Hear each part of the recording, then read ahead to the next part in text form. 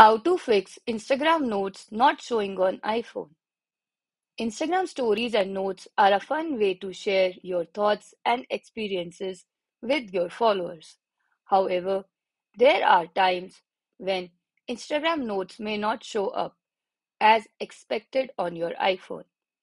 In this tutorial, we will explore common reasons why your Instagram notes might not be displaying correctly and, more importantly, how to fix this issue. Whether you are an influencer, a business owner, or just someone who loves to share notes on Instagram, we have got you covered.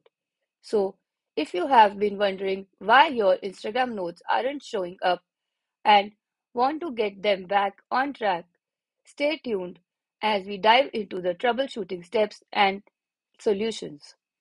Now, first open Instagram app. Now, in messages, we see the notes option. On right hand side above, you can see the message icon. Just click on that. And here you can see the notes are not showing. What we can do is just go back. Now, on right hand side below, you can see the profile icon. Click on that. On right hand side above, you can see three lines. Click on those three lines.